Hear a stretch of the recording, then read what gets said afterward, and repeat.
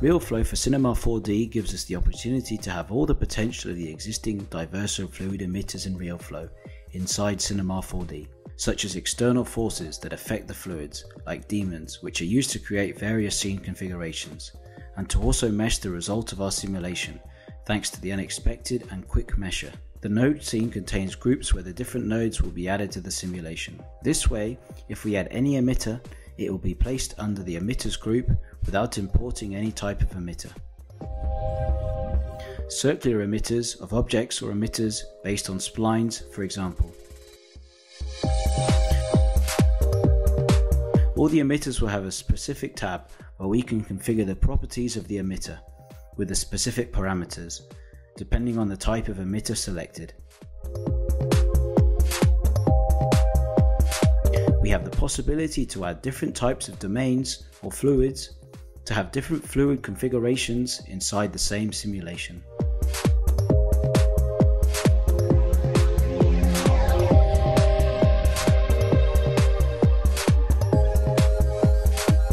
Combining the emitters with different fluids will be as easy as adding or removing the emitters, which will be affected by these fluids.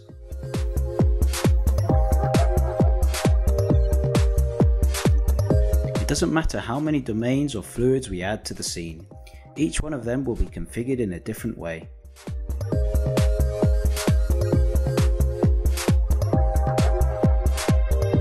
The forces applied to the fluids will create very impressive simulations with a few clicks. To do this, we will place daemons which will be connected to the fluids themselves to affect the particles.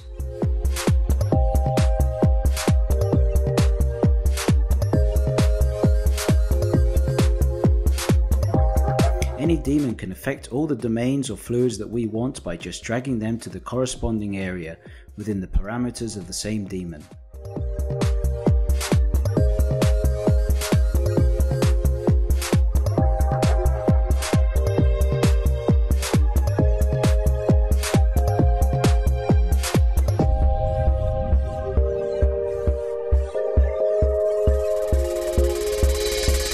Node scene contains all the groups created by defect, and a father-son relationship is established, thereby transforming the node scene, which will affect all the groups within the fluid.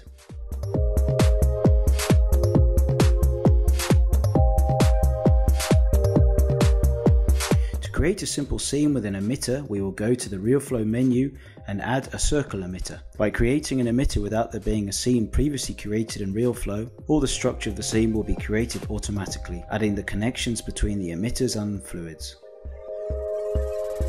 Since only one fluid exists in the scene, any daemon we create will be automatically connected with it to create the desired effect.